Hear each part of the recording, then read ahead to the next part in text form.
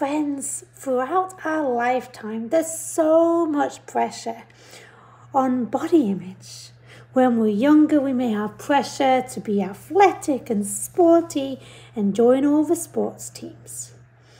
For women, there's pressure to bounce right back after giving birth to children, which is a miracle in itself.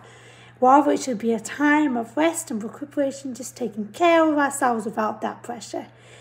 For men, they may have this pressure to be athletic and be like these gym bros.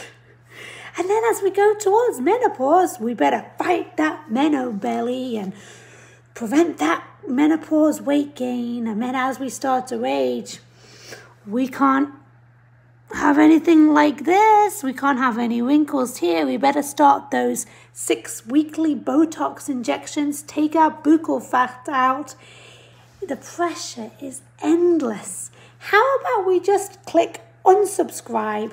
to unrealistic beauty standards. Treat our bodies with kindness. Sure, it won't be easy and we'll have to sit in the stock, sometimes have some grief over the changes we've been, but you know, each and every day on this beautiful planet is a gift.